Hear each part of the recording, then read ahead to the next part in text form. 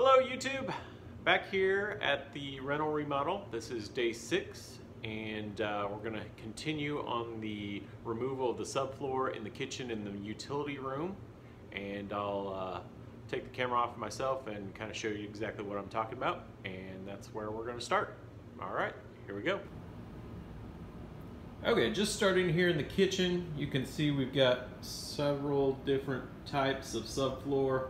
We've got this uh, four inch tongue and groove pine. We've got some uh, three quarter inch plywood that's been replaced at some point.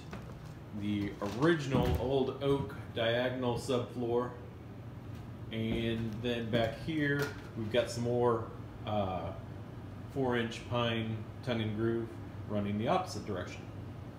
So plywood's a good subfloor.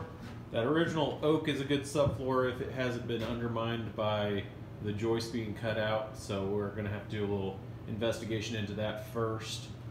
Then uh, we'll pull this plywood up as well and really get a diagnosis of all these joists, make sure the joists are all in good shape, try to level them off as best as possible uh, I'm not expecting it to be 100%, but we should be able to make it better and at least solid. So that's the goal here in the kitchen. I'm gonna tear out all this over here as well.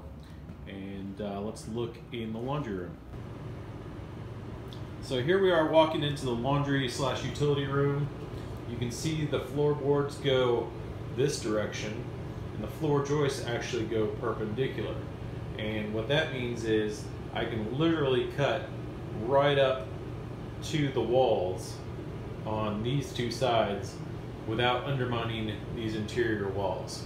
So I'm going to remove all this tongue and groove pine and at that point address all the issues with the floor joists in here that we diagnosed yesterday and then this will all be replaced with three quarter inch uh, pine or uh, plywood. Now I will have issues when I get over here to the edge of the house because the joists go this direction.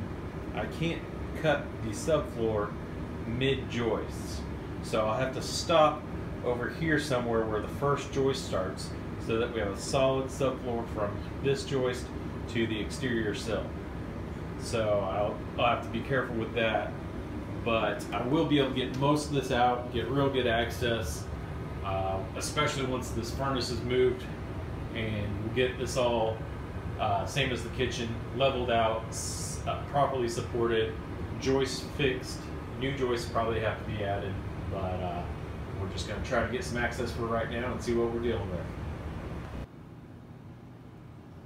okay before I get started on this I did want to mention you know this is a good 4x8 sheet of 3 quarter inch plywood these days with COVID and everything, plywood is expensive. So this is anywhere from $45 a sheet on up, depending on where you're at in the country.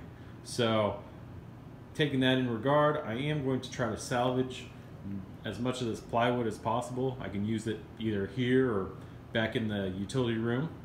And so in order to do that, I wanted to show you one of the tools I was going to use, just your regular four and a half inch grinder with uh, a 40 grit flap disc.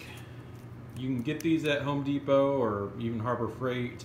They're expensive, but I found if you go on Amazon, I'll put a link down in the bottom, uh, you can get a, a multi-grit pack uh, a heck of a lot cheaper and they work awesome. So here I'm going to show you a little clip of removing some of this thin set so I can get to the screws to attempt to remove this plywood in one piece.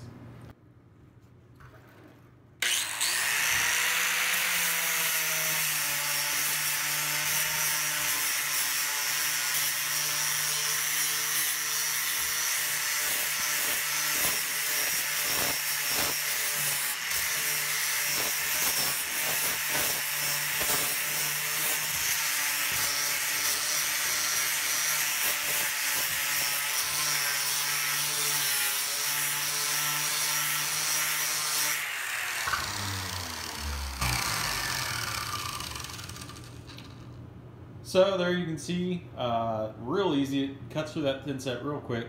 Just make sure to wear a uh, breath mask and ear protection, but this plywood will be just fine after a little bit of work. So definitely worth saving 45 bucks.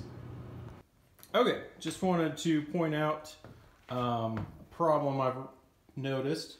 You can see they've added joist here and then just tacked on some nailers to this existing joist right here. And this is where the problem is. This is just a shortcut, but you can see that joist is not hitting that beam and it's not in good shape. And so by adding these nailers, yeah, you can nail your plywood down, but I don't know if you can see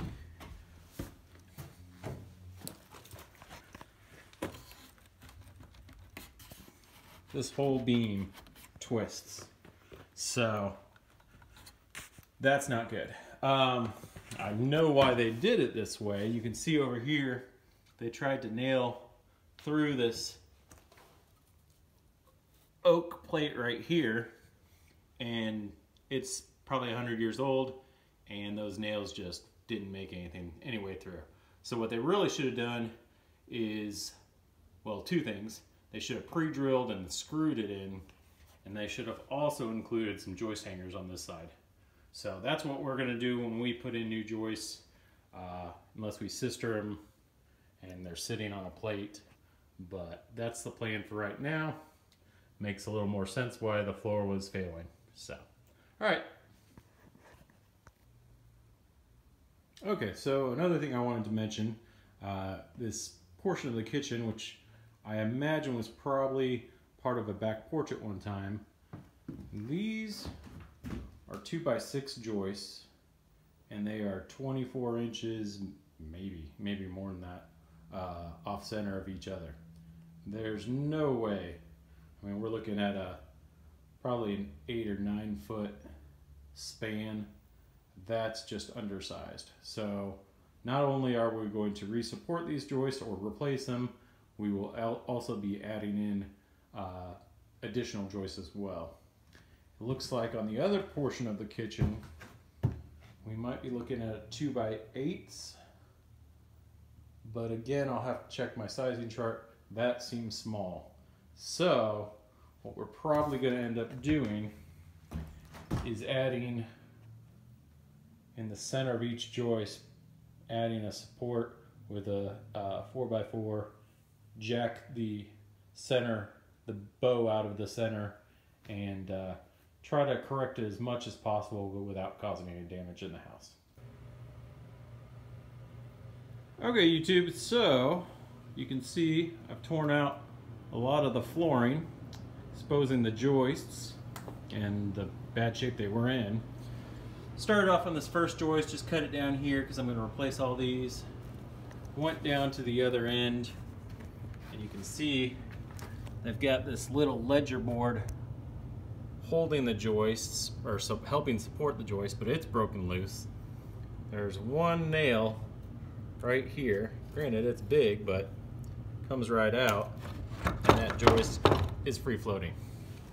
So, lesson to be learned, when you do open something up like this, you're gonna come up with further and further problems, but it's best to, while you have it open, fix them all at that point because you can't, you know, pull a floor up easily again. So, we're gonna fix all these joists, resupport, try to lift the floor up where needed, get it all leveled, but and redo some plumbing while we're at it uh, before we cover it back up with plywood. Okay, so here's another surprise we found. Uh, buried under the kitchen is where the main water comes into the house. There's the main shutoff. Of course, if you ever needed it, you're never going to be able to find it. And it immediately reduces down into half inch and then that feeds the rest of the house, the water heater, etc. So I don't like that at all. What I'm going to do is tie in to the three quarter inch pipe, run it to where the new utility slash laundry room will be, and have the main shut off there. And then I will run three quarter inch to the water heater and everywhere and basically just reduce it down to half inch at the, for instance, at the sink and uh, bathroom, etc. So that's part of the plan. Okay, so I am in the hole that used to be half of the kitchen. You can see the plumbing behind me and there's remains of some of the floor joists. I probably will call it a day today. I'm going to go ahead and make a shopping run. Need to buy a bunch of uh, wood for floor joists and plumbing supplies to rerun the plumbing here under the kitchen and get that all done while I have access to it, while it's easy to do.